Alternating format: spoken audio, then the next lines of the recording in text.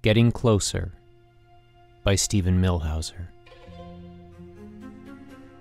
He's nine, going on ten, skinny tall, shoulder blades pushing out like things inside a paper bag. New blue bathing suit, too tight here, too loose there.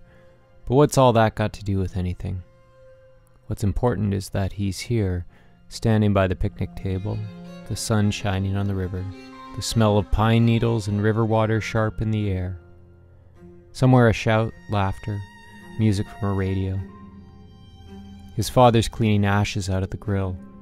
His mother and sister are laying down blankets on the sunny grass not far from the table. Grandma's carrying one of the aluminum folding chairs toward the high pine near the edge of the drop to the river, and he's doing what he likes to do best, what he's really good at standing around doing nothing. Everyone's forgotten about him for a few seconds, the way it happens sometimes. You try not to remind anyone you're there. He loves this place. On the table's the fat thermos jug with the white spout near the bottom. After his swim, he'll push the button on the spout and fill up a paper cup with pink lemonade. It's a good sound. Pish, pish.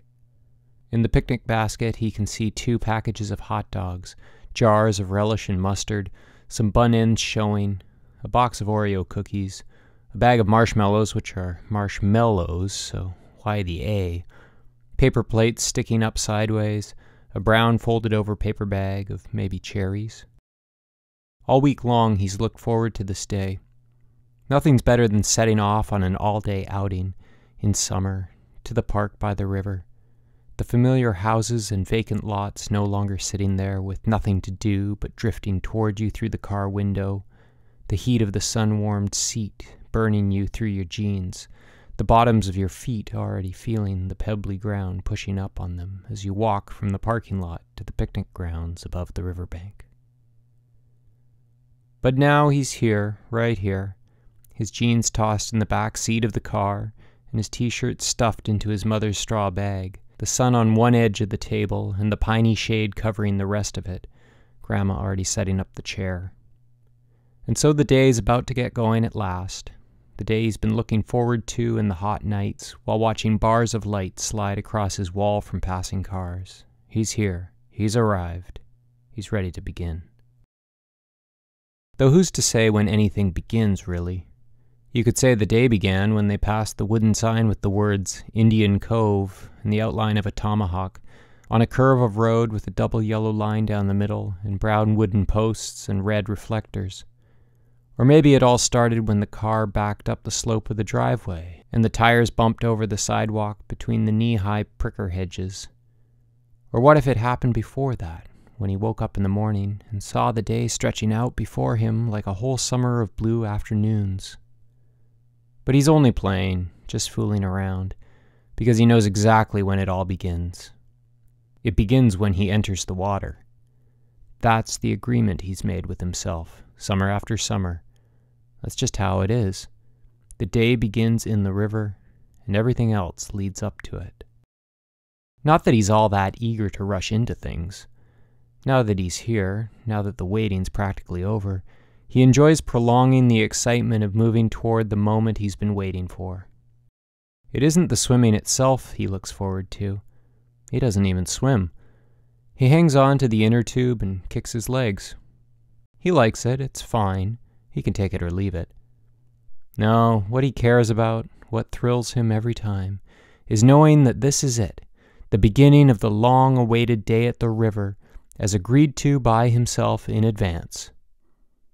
Everything's been leading up to it, and in the way of things that lead up to other things, there's an electric charge, a hum. He can feel it all over his body. The closer you get, the more it's there. Julia, 13, isn't like him in that way. Soon as she's finished laying out the three blankets, she'll run over to the edge of the drop, scamper down, and cross the short stretch of ground to the river. She's always been like that, throwing herself into things piano lessons, blueberrying, hiking a trail, the bumper cars at Pleasure Beach. She thinks he's cautious, too held back, timid even, and it's probably true, but it's also something else. He likes things to build up slowly because when it happens that way, everything feels important. Does this mean there's something ungrown up about him? Something that'll go away one day? Like his stick out shoulder blades and his knobby ankle bones? Come on, give us a hand, Captain, Julia says. He's not invisible anymore. Julia doesn't like people standing around doing nothing. He takes a blanket corner, and before he knows it, she's off around the table toward the pine where Grandma's sitting. She's scrambling down the drop and out of sight. A second later, her head appears. Then she's all there except for her feet.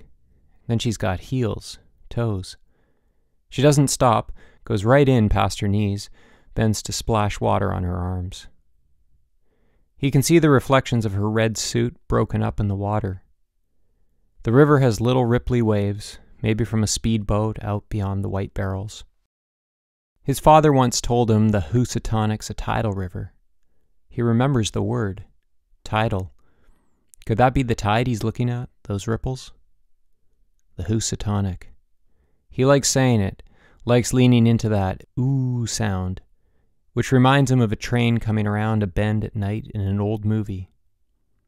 Julia throws herself in, begins swimming out to the barrels. You run along now, Jimmy, his mother says. I'll be fine here. He knows it's time to get started, and he can't delay things forever. He goes over to the sunny inner tubes, lifts up the one lying on a slant against the other, squeezes the warm, dusty rubber to make sure it's tight. Then he begins rolling it bumpily over the grass and around the end of the picnic table toward the pine where Grandma's sitting. It's a short walk, in deep shade broken by spots of sun. He's stepping on soft, crackly pine needles and spongy pine cones, which press up into the soles of his feet as though he's walking on rolled up sock balls. The earth feels bouncy and hard at the same time. Grandma's sitting next to a high pine that's leaning a little forward, as if one day it started to fall, then changed its mind. To the left, there's another pine, also leaning forward, and the two trunks form a kind of frame around the sunny river and the wooded hills on the far side. Everything's alive with interest. That big pine cone in dark shade, with one end glowing in sunlight. That cherry stained popsicle stick lying next to a bumpy root. Grandma's chair isn't the heavy long one from the porch with adjustable positions. No, she's got the small one with a straight back that unfolds with one easy pull. She's wearing her dark blue bathing suit and a pair of straw sandals, toenails polished pink, her thick hair a strange sort of whitish yellowish orange. She's always laughing about her trouble with hair dyes. She's sitting in the shade near the edge of the drop, legs in sunlight, book in her lap. Her fingers are bent at the knuckles. She likes holding them up and showing them to him. See? Arthritis. The crisscross strips in the chair are white and lime green. As he comes up to her, she turns her head, places a hand in her open book to keep it from closing. So, my good man, you're going in? Look at Julia out there. He brings this out in people, who knows why. Captain, my good man. It's something about him. His sister's by the barrels now, swimming on her back, kicking her feet, sweeping up both arms. That's right, my good woman, he says, and Grandma does what he wants her to do. Gives a deep down, scratchy laugh, a laugh with approval in it. It's a witty family. You have to be on your toes. If he gets up late in the morning, his father says things like, Out drinking last night, eh, Jim? Or, Behold, the sun is risen. Standing beside Grandma, balancing his inner tube with his fingertips, he takes it all in. The two bracelets on Grandma's wrist, one turquoise and one silver, her fingers puffy, her knuckles bumpy, the clumps of hot looking droopy grass on the few feet of ground that go past the chair to the edge of the drop, the thick pine root twisting out of the slope, a white piece of string hangs over the root. These are good things to look at, but sometimes you don't see them. You see them when they're leading up to something. He takes a few steps to the edge of the drop, the edge of the world. Behind him's Grandma in her chair, the floor of pine needles, the picnic table.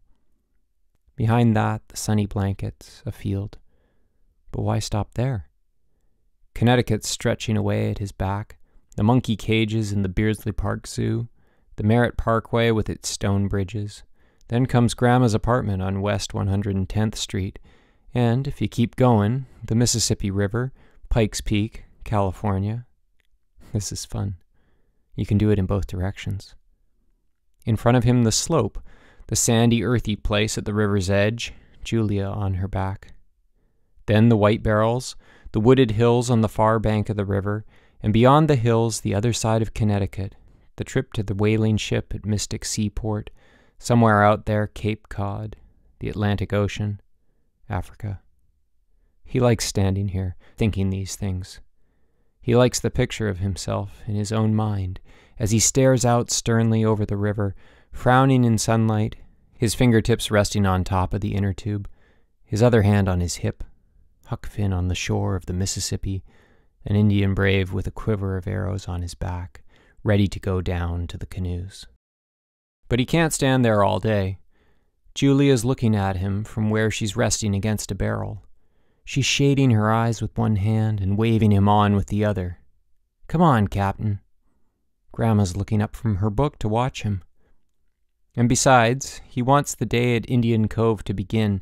He really does, even if all he's been trying to do since he got here is hold it back for as long as possible. There's two ways down to the river the hard dirt path on the other side of the pine, where the grown ups go, or straight down the soft, crumbly slope. Gripping the inner tube under his arm, he steps over the edge and half slides, half stumbles down, feeling the warm, sandy earth spilling over the tops of his feet. It reminds him of salt sprinkled into his hand. He's there. He's made it. He's standing on the patch of orangey, sandy dirt that's too small to be a beach. The beach they go to has real sand, lots of it, and blankets and beach umbrellas, salt water, a refreshment stand, seagulls, dead crabs, sandbars, waves. This is the shore of the river, and it's different in different places. Here, the sandy orange earth, farther down, some boulders and cattails, elsewhere, trees and grass right at the water's edge. This no name place is gentler than a beach, more quiet, more shut away, with the slope behind him, the green brown water in front of him, the white barrels moving up and down a little as if the water's breathing. He starts forward, rolling his inner tube. Nine or ten steps, and he'll be at the water's edge. He can see ripples there, like very small waves. A tidal river. If he didn't know it was a river, he'd think he was standing by a lake. Tree branches bending down to the water hide the turn of the river on both sides, and what you see is a lake with wooded hills, a few little houses on the far shore, a pier with a tiny man fishing. He rolls his tube over the warm sand dirt. There are pebbles here, but no rubbery piles of seaweed, no purple black mussel shells. A green Coke bottle, empty, stands upright and looks out of place. It belongs on the beach, tilted in the sand next to a blanket. It's got a green shadow. Blurred footprints, a smooth flat stone good for skimming. The excitement's building. He's almost there. At the water's edge, he stops. He makes sure the little waves pull back before they can touch his toes. Through the water, he can see the ripply sun designs on the river bottom. They look like a chain link fence made of light. The river is it, the beginning of his adventure, and here at the final place he stops for the last time. Everything has led up to this moment. No, wrong. He isn't there yet. The moment's just ahead of him. This is the time before the waiting stops and he crosses over into what he's been waiting for. He inhales the river smell, takes it deep into his nostrils. He's been moving toward the moment that's about to happen ever since he woke up this morning, ever since last week, when his father came home from work and with his briefcase still in his hand, said they'd be going to Indian Cove on Saturday if the weather held. Every day he could feel it coming closer. It was like waiting for the trip to the amusement park, like waiting for the circus tents to rise out of the fields next to the town over. In another second, the waiting will end. The day will officially begin. It's what he's been hoping for, but here at the edge of the river, he doesn't want to let the waiting go. He wants to hang on with all his might. He's standing on the shore of the river. The brown green ripples are breaking at his toes. The sun is shining. Julia's waving him on. The white barrels are rising and falling gently. And what he wants is to go back to the wooden sign with the tomahawk and start waiting for the shore of the river. What's wrong with him? Why can't he be like Julia? He loves this day, doesn't he? Any second now he'll be standing in the water up to his knees, swishing his hands around. He'll go in up to his bathing suit. He'll wet his chest and shoulders, hop on the tube, and paddle out to Julia. He'll laugh in the sun. Later, he'll throw himself on his blanket, feel the sun drying out his wet suit. He'll eat a hot dog and a bun, drink pink lemonade from the jug. He'll be sluggish with sun and happiness. At the end of the day, he'll change out of his suit in the creaking wooden bathhouse. He'll fall asleep in the car on the way home, under the streetlights. But now, as he stands at the end of waiting, something is wrong. He's shaken deep down, as though he'll lose something if the day begins. If he goes into the river, he'll lose the excitement, the feeling that everything matters because he's getting closer and closer to the moment he's been waiting for. When you have that feeling, everything's full of life, every leaf, every pebble. But when you begin, you're using things up. The day starts slipping away behind you. He wants to stay on this side of things, to hold it right here. A nervousness comes over him, a chilliness in the sun. In a moment, the day will begin to end. Things will rush away behind him. The day he's been waiting for is practically over. He can see it now. He sees it. Ending is everywhere. It's right there in the beginning. They don't tell you about it. It's hidden away in things. Under the shining skin of the world, everything's dead and gone. The sun is setting. The day is dying. Grandma's lying in her coffin. Her crooked hands are crossed on her chest. His pretty mother's growing old. Her fingers are thick and bent. Her brown hair is stringy white. No one can stop it. Julia's dying. His father's dying. The Coke bottle's crumbling away to green dust. Everything's nothing. If he stands still, if he doesn't move a muscle, maybe he can keep it from happening. Things will stop and no one will ever die. His body's shaking, he can't breathe. Here at the water's edge, he's at the end of everything. You can't live unless there's a way to hold on to things. He can't go back because he's already used it up. He can't go forward because then it all begins to end. He's stuck in this place where nothing means anything. It's streaming in on him like a darkness, like a sickness.